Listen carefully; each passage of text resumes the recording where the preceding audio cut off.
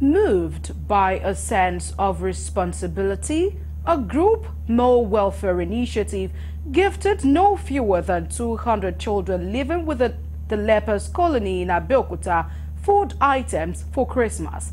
Speaking to newsmen, the convener Modupe Idowu expressed a commitment to returning annually to felicitate the beneficiaries as well as offering a sense of belonging to those marginalized in the society. Tasking Nigerians on the spirit of giving, Modupe Idowu encouraged both the government and individuals to embrace generosity, emphasizing the transformative power of selfless acts.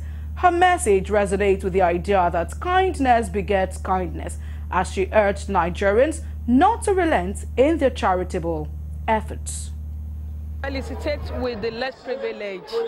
When you look at the society during the Christmas like this or any festive period, everybody will be jubilating, merry, eating all sorts of food.